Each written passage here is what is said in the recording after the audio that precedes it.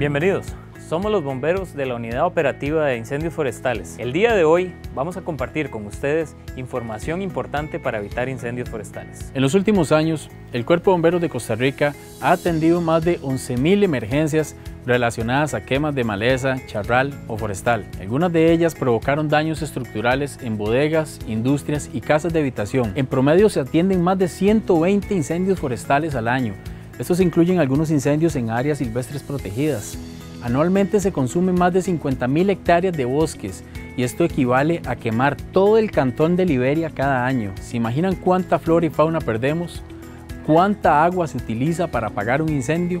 Y peor aún, ¿cuánto daño le estamos haciendo a nuestros ecosistemas? En época seca, los bomberos atendemos un aproximado de 400 incendios diarios en su mayoría corresponden a quemas de charral o forestales, ya sea por descuido, ignorancia o por vandalismo. La población debe abstenerse de hacer quemas para limpiar malezas, sembrar o deshacerse de la basura, pues los fuertes vientos fácilmente vuelven estos fuegos incontrolables. Además, las altas temperaturas, la vegetación seca, favorecen a la propagación. Cuando esto ocurre, la propagación del fuego se beneficia con la cantidad de combustible. Factores tales como los atmosféricos, como el viento y la topografía, provocan el comportamiento extremo de un incendio forestal. A pesar de la cantidad de emergencias que atendemos, durante los últimos cinco años solo ha cobrado una importante vida humana. Perdimos la vida de un compañero que trabajaba en la extinción de un incendio forestal.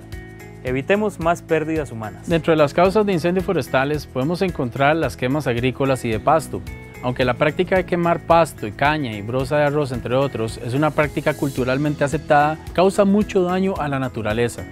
Los gases de efecto invernadero que genera son neutralizados solo parcialmente por nuevos cultivos que van a crecer. Además, las quemas mal manejadas son responsables del 46% de los incendios forestales que se generan en el país. Hay incendios por venganza o vandalismo. El 40% de los incendios forestales que se dan en el país son intencionales. Cazadores que queman pasto para atraer venados hacia nuevos brotes y poder matarlos. Hay campesinos que queman pasto de parques nacionales para poder introducir ganado de manera ilegal. Otros sencillamente queman por venganza o resentimiento contra las áreas protegidas o algún vecino que les ha hecho un daño. Todas estas prácticas son ilegales y tienen que denunciarse. También tenemos las quemas de basura o de hojas secas. Poca gente sabe que la ley costarricense prohíbe las quemas de basura. Estas son la causa del 4% de los incendios forestales que se dan en el país. Estas quemas también pueden ser denunciadas al sistema de emergencia 911, ya que se trata de una práctica ilegal. Habla con tus vecinos del por qué no deben hacerse las quemas.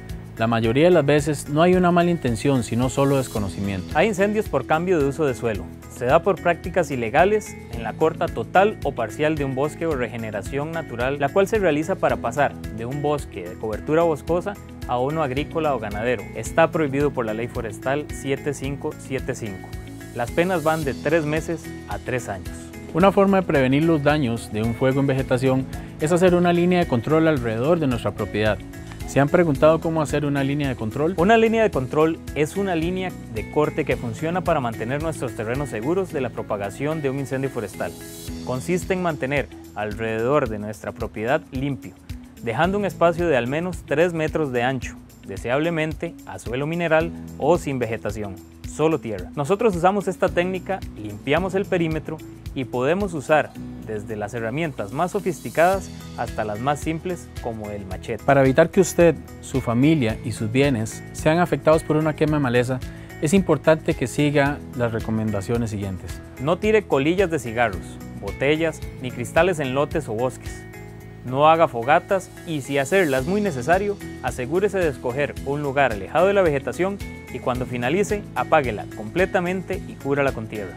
Mantenga los lotes limpios de maleza. No haga quemas. Deshágase de la basura y desechos que se encuentren alrededor de su casa, negocio o propiedad.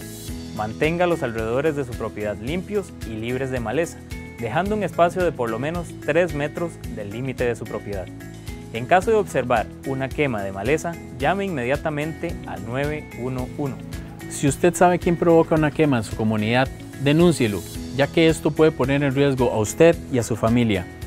Rompa con el silencio. Causar un incendio forestal es un delito castigado por la ley. Nosotros esperamos que este año no tengamos tantos incendios forestales.